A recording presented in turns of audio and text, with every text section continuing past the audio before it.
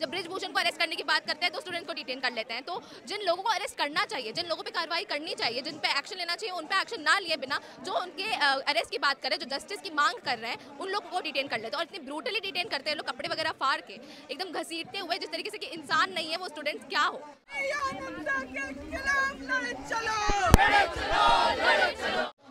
12 बजे लड़कियाँ निकल सकती है गहने पहन के और कुछ नहीं होगा। ये तो बहुत एग्जैजरेटेड चीज़ हो गया बोलना, क्योंकि होगा।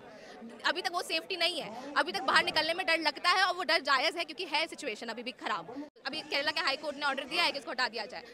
और साथ ही वो जो कन्वर्जन की बात करते हैं कि महिलाएँ रिलीजन कन्वर्ट कर रही हैं मतलब इस्लाम में कन्वर्ट कर रही हैं तो कोई चिंताजनक बात नहीं है, वो कन्वर्ट कर रही है, अपने चॉइस से कन्वर्ट कर रही है। इस पर आपको चिंता, इस पर आप कंसर्न लें इस पर बात करें, उसके बजाय आप इस पर बात करें कि महिलाएँ बैठी नहीं है कोई इशू अगर कोई नमाज़ अदा कर रहा है, अपने चॉइस से तो कर रहा है, उसमें क्या न्यूज़ में बात करने की क्या ज़रूरत है?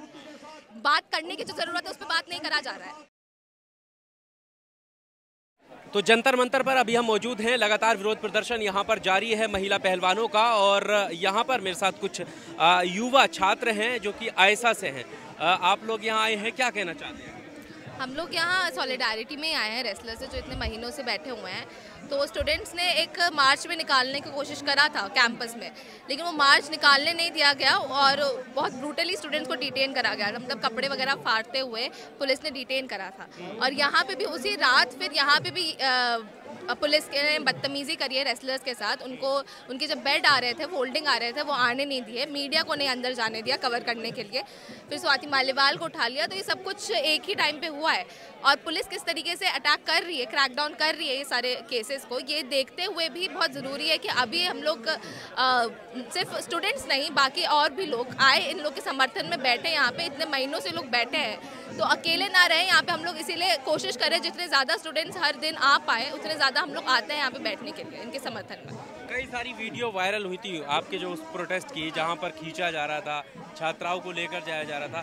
ऐसी क्या वजह है कि जिसके, जिसकी गिरफ्तारी की बात की जा रही है, वो अभी भी आज़ाद है, लेकिन छात्र गिरफ़्तार हो भाई, ये चीज़, ये कोई नई चीज़ नहीं है जो पुलिस करता है या फिर प्रशासन करती है। ये हमेशा से होता है। जब आईपी किया जब फेस्ट में बात हुई कि जो बदतमीज़ी कर रहे थे, जो ये लड़के लोग, उनको अरेस्ट करने की बात हुई तो वुमेन को अरेस्ट कर लिया गया। अपने ही स्टूडेंट्स जितने कॉलेज के स्टूडेंट थे, उनको अरेस्ट कर लिया गया, डिटेन कर लिया गया ब्रूटली। उसी तरीके से जब ब्रिजभूषण को अरेस्ट करने की बात करते हैं तो स्टूडेंट्स को डिटेन कर लेते हैं। तो जिन लोगों को अरेस्ट करना चाहिए, जिन लोगों पर कार्रवाई करनी चाहिए, जिन पर एक्शन लेना चाहिए, उन पर एक्शन ना लिए बिना जो उनके अरेस्ट की बात करें जो जस्टिस की मांग कर रहे हैं उन लोगों को डिटेन कर लेते हैं। और इतनी ब्रूटली डिटेन करते हैं लोग कपड़े वगैरह फाड़ के एकदम घसीटते हुए जिस तरीके से कि इंसान नहीं है वो स्टूडेंट्स क्या हो?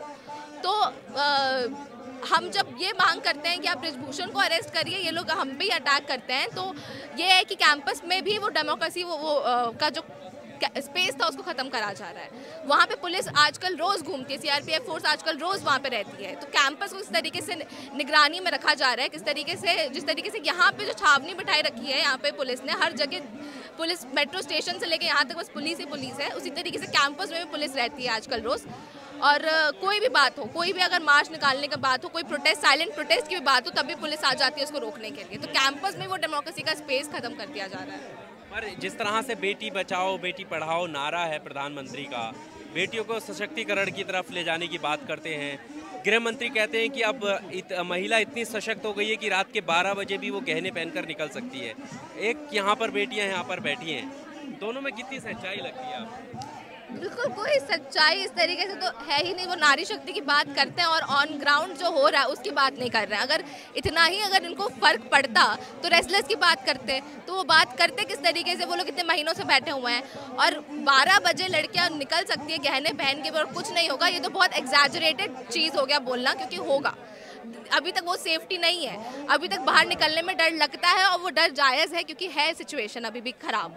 कोई हाथरस में अगर रेप केस हुआ तो क्या उसमें क्या एक्शन लिया गया? आ, किस तरीके से उस छोटी सी बच्ची के साथ जब वो हो सकता है और उस पर एक्शन लेने पर इतना समय लगाता है प्रशासन तो कहाँ सेफ़ सेफ्टी है? किस सेफ्टी की बात करता है सरकार? पर अभी क्योंकि कर्नाटका में चुनाव है तो वहाँ पर प्रधानमंत्री बिज़ी हैं। और उस रैली में भी कई सारी बातें उन्होंने की हैं। जैसे केरला में केर, द केरला फ़िल्म जो है वो स्टोरी उसको लेकर उन्होंने कहा और जो लड़कियाँ हैं धर्मांतरण को लेकर एक एक चिंता ज़ाहिर की उन्होंने। तो वो चिंता क्या प्रधानमंत्री मोदी की एकदम सही है वाजिब है? लगता है आपको?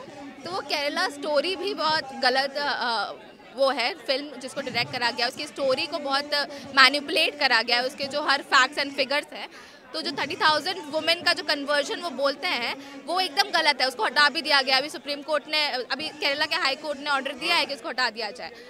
और साथ ही वो जो कन्वर्जन की बात करते हैं कि महिलाएँ रिलीजन कन्वर्ट कर रही हैं मतलब इस्लाम में कन्वर्ट कर रही हैं तो कोई चिंताजनक बात नहीं है, वो कन्वर्ट कर रही है, अपने चॉइस से कन्वर्ट कर रही है। इस पर आपको चिंता, इस पर आप कंसर्न लें इस पर बात करें, उसके बजाय आप इस पर बात करें कि महिलाएँ भी बैठी हुई हैं। ये ज़्यादा इंपॉर्टेंट प्रायोरिटी क्या रखती है? ये कि वो लोग कन्वर्ट कर रही हैं, या फिर ये कि जस्टिस की मांग करें और आप लोग कोई बात नहीं सुन रहा है। महीने महीने से धूप में बैठे हुए हैं, बारिश में बैठे हुए हैं, उनको फोल्डिंग जब उनके लिए लेकर आता है, कोई तो फोल्डिंग नहीं दिया जाता है और कोई उनको बात करने के लिए आता है तो उनसे बात नहीं करने दिया जाता है। तो ये बात करना ज़्यादा ज़रूरी है या फिर ये बात करना ज़्यादा ज़रूरी है कि वो लोग कन्वर्ट कर रहे हैं? अभी स्मृति ईरानी का भी बयान आया है, क्योंकि यहाँ पर तो महिलाएँ, बेटियाँ बैठी हैं काफ़ी लंबे समय से स्मृति ईरानी कह रही हैं कि उन्होंने प्रियंका गांधी को नमाज़ अदा करते हुए देखा है, लेकिन उन्हें ये बेटियाँ नहीं दिख रही। अभी ये जो स्पीकर जो बात कर रहे थे बहुत अच्छी लाइन बोलते हैं कि इन लोगों को फोल्डिंग और ये सब कुछ दिख जाता है खाना वाना, लेकिन इनको पुलवामा अटैक में इनको वो बम नहीं दिखे इतने सारे। ये लाइन अभी बोला है एक स्पीकर ने। तो उसी तरीके से ये लोग चूज़ करते कि क्या देखना चाहिए, क्या नहीं देखना चाहिए। नमाज़ अदा कर रहा है कोई, वो देखना पड़ेगा। और वो बात करनी पड़ेगी मीडिया में, लेकिन रेस्लर्स बैठे हुए ये देखना, ये देख के भी अनदेखा कर देना। इस पर बात नहीं करना वो चूज़ करते हैं वो। पर नमाज़ को देखकर क्या इसलिए कहा जाता है कि आ, मतलब ऐसी क्या चीज़ है कि नमाज़ में इतनी बड़ी दिक्कत और उसको इशू बना देना? क्या इससे खुश होता है? हिंदू कोई दिक्कत है नहीं उसको इशू बना दिया जाता है। उसको इस तरीके से आ, मीडिया में उसको सेंसिटाइज करा जाता है कि है इशू नहीं है कोई इशू अगर कोई नमाज़ अदा कर रहा है अपने चॉइस से तो कर रहा है उसमें क्या न्यूज़ में बात करने की क्या ज़रूरत है? बात करने की जो ज़रूरत है उस पर बात नहीं करा जा रहा है। तो वही है। मिलना बिल्कुल चाहिए अगर बैठे हुए इतने महीनों से वो ज़रूर एक तो ये भी नहीं है कि बैठना पढ़, पढ़ना चाहिए। वो लोग अगर एफआईआर दर्ज कराते तो कानूनी कार्रवाई तभी स्टार्ट हो जानी चाहिए। लेकिन सुप्रीम कोर्ट को इंटरवीन करना पड़ा एफआईआर दर्ज कराने के लिए भी। तो तो वही कि अगर बैठे हुए हैं तो बिल्कुल मिलना चाहिए लेकिन जिस तरीके से अभी पार्टी उसको बचाने की कोशिश कर रही है तो हम लोग लेकिन वही है कि बैठना बैठेंगे ही हम लोग जितने टाइम तक ब्रिजभूषण को इस्तीफा नहीं देगा तब तक बैठेंगे ही यहाँ पे।